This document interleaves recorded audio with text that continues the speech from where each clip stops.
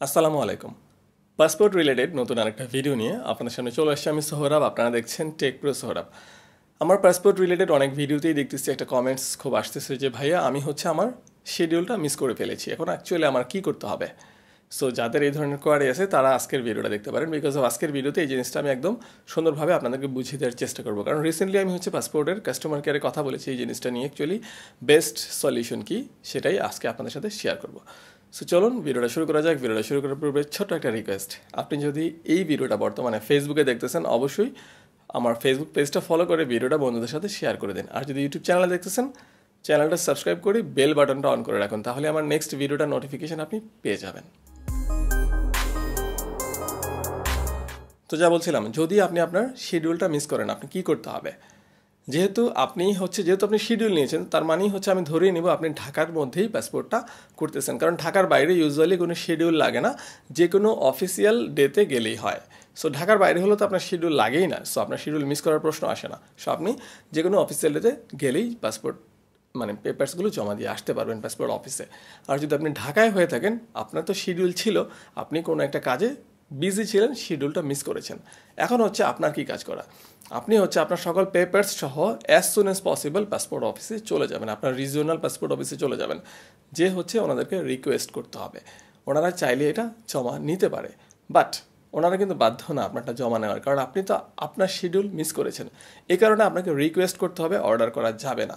কারণ ওনারা চাইলেই আপনাকে রিফিউজ করতে পারে যে, না, আপনারটা নিব না, আপনার তো শিডিউল মিস করেছেন, আপনি আবার নতুন করে অ্যাপ্লাই করে আসুন।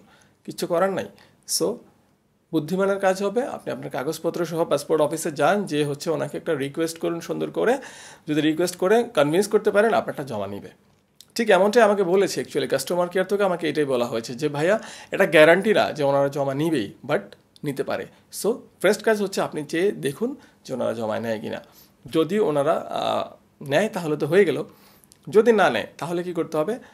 যেহেতু আপনি পাসপোর্ট অফিসে আসেন আপনি হচ্ছে একটা অ্যাপ্লিকেশন করে আসতে হবে আপনার কারেন্ট অ্যাপ্লিকেশনটা ডিলিট করার জন্য, এটা ক্যান্সেল করার জন্য। আপনি অ্যাপ্লিকেশন করে আসার তিন চার দিনের মধ্যে আপনার অনলাইনে আপনি যেখানে অ্যাপ্লিকেশনটা করেছিলেন এই থ্রুতে সেখানে আবার লগ ইন করবেন। লগ ইন করলে হচ্ছে ডিলিট অপশনটা পেয়ে যাবেন।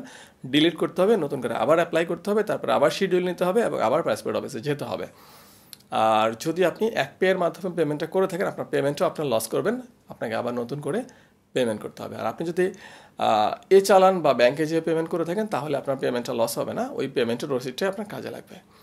এটা হচ্ছে অ্যাকচুয়ালি প্রসেস দুইটা ওয়ে একটা হচ্ছে রিকোয়েস্ট করে যদি কনভিন্স করতে পারেন আর একটা হচ্ছে যদি কনভিন্স না হয়, আপনাকে হচ্ছে ওই পাসপোর্ট অফিসে তখনই হচ্ছে অ্যাপ্লিকেশন করে আসতে হবে, এটা ডিলিট করে ডিলিট করে নতুন করে আবার অ্যাপ্লাই করতে হবে, নতুন করে শিডিউল নিয়ে ওই শিডিউল ডেটে যেতে হবে।